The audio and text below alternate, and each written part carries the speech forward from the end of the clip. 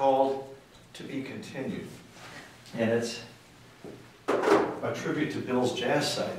Um, those of you who don't know Bill or about him, he had really two lives. One life was his, that's the title of the piece, was his life learning how to play multiphonics, cataloging, cataloging multiphonics and doing all that stuff. His other life was with his friend that he met when they were both studying with Darius Milhaud at Mills College, a guy named Dave Brubeck that he formed a band with and then bailed on. Uh, uh, that's where they hired Paul Desmond because he got a, an academic teaching position, actually at USC. Um, this one is not that long, but um, that's pretty fast. You can come watch if you want to, if anybody wants to get out of their seat. If not, you can keep your butts in your seat. Uh, but, but, you get to hear a, a quarter tone version of Blue Rondo a Turk. You know, you know? Yeah. Okay, you're going to hear.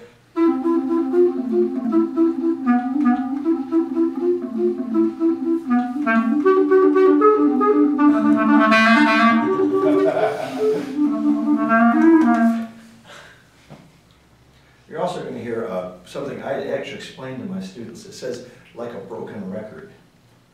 And you know what a broken record? Yeah, where it skips back and forth, yeah, you hear that one.